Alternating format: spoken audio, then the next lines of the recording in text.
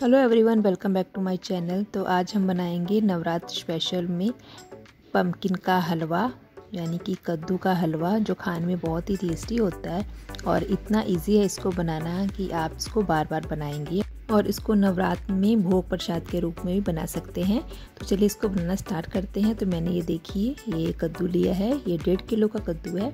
पहले हम इसको कट करेंगे। तो मैंने इसे कट करने के लिए किसी की हेल्प ली है।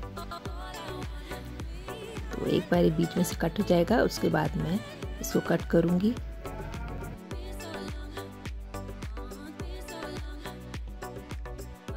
नॉर्मल जो हम सब्ज़ी बनाने के लिए लेते हैं तो वही कद्दू है ये।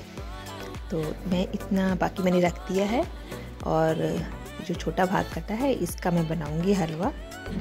तो सबसे पहले हम पम्पकिन को छील लेंगे इसका छिलका उतार देंगे कट करके। और छिलका उतारने के बाद हम इसको छोटे छोटे पीसेस में कट करेंगे। हमें इसको ग्रेट नहीं करना है, यानी कद्दूकस नहीं करना है, हम इसको बस छोटे छोटे पीसेस में कट कर लेंगे। थोड़े बड़े बड़े टुकड़े ही मैंने कट किए हैं, थोड़े मोटे साइज़ के, क्योंकि हमें इसे बॉईल करना है। तो ये देखिए, कद्दू को हमने कट कर लिया है, अब इसको डाल देंगे कुकर में। और कुकर में डालने के बाद हम इसको दो से तीन बार अच्छे से वॉश करेंगे। तो ये देखिए वॉश हो गया है। अब इसमें थोड़ा सा एक चम्मच के करीब पानी डालेंगे, नहीं तो उसकी ज़रूरत नहीं है और तीन सीटी आने तक हम वेट करेंगे। तो इसमें तीन सीटी आ गई है और मैंने स्टीम हटा दी है। और ये देखिए, जो कद्दू है, अच्छे से सॉफ्ट हो गए हैं बहुत ही। तो अब हम गैस पे रखेंगे पैन और इसमें डालेंगे देसी घी। देसी घी जब मेल्ट हो जाए तो दो मैंने हरी इलायची डाली है, क्रश करके। उसके बाद अब इसमें डाल देंगे हम कद्दू। तो इसको आप पैन में या कढ़ाई में किसी में भी बना सकते हैं। ज़रूरी नहीं है कि नॉन स्टिक पैन ही होना चाहिए। अब इसको हम थोड़ा सा भूनेंगे और जैसे जैसे ये भूनेगा, वैसे वैसे ये खुद ही मैश होता जाएगा या फिर थोड़ा सा आप हाथ से इस तरह से मैश कर लीजिएगा। और जब हम दूध डालेंगे ना, तब ये खुद ही गल जाएगा। ऑलमोस्ट ये बहुत ही सॉफ्ट है। तो इसको पाँच से छः मिनट ही भूनेंगे। बहुत ज़्यादा समय नहीं लगता इसमें। तो बस इसको लगातार हम भूनते जा रहे हैं। तो मैंने गैस की फ्लेम मीडियम रखी है अभी।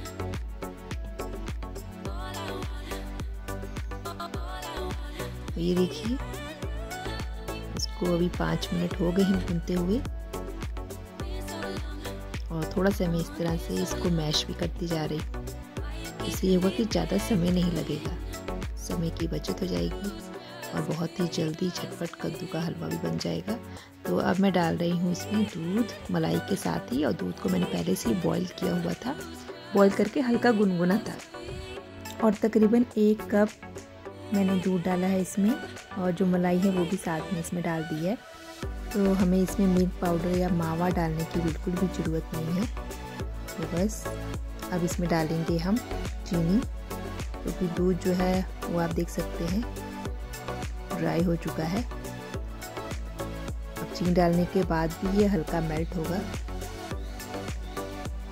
इस स्टेज में मैंने चीनी डाल दी है तो मैंने पाँच चम्मच, पाँच बड़े चम्मच चीनी डाली है। और आप चाहे तो इस स्टेज पे थोड़ा सा केसर का इस्तेमाल कर सकते हैं और ड्राई होने तक पकाएँगे। मैंने थोड़ा सा एक पिंच इसमें फ़ूड कलर डाला है और फ़ूड कलर डालने के बाद हम इसको ड्राई ये देखिए हलवे का कलर भी चेंज हो गया है। तो मैंने एक पिंच के करीब फ़ूड कलर डाला था जो मैं वीडियो में नहीं दिखा पाई।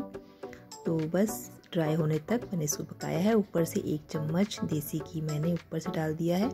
और आप देख सकते हैं, जो कढ़ाई है वो घी छोड़ने लगा है और बिल्कुल भी कढ़ाई जब एकदम से साफ़ हो जाए, जब आप इसको चलाएँ तो एकदम से साफ़ हो जाए तो समझिए कि आपका हलवा एकदम बन के रेडी है। तो चलिए इसको हम सर्व करते हैं। तो हलवा रेडी है तो इसको आप इसी तरह से फटाफट से बना सकते हैं। चाहे आप इसमें नवरात्र में आप भोग लगा सकते हैं माता जी को, या फिर आप नवरात्र में फलाहार के साथ इसको खा सकते हैं। या आपका कभी ऐसे मीठा खाने का मन करे तो आप इसको झटपट से बना सकते हैं। इसको गार्निश करेंगे अपने फेवरेट ड्राई फ्रूट्स के साथ। तो कैसी लगी मेरी वीडियो? आई होप आपको अच्छी लगी होगी। तो मिलते हैं नेक्स्ट वीडियो में। तब तक के लिए bye bye thank you so much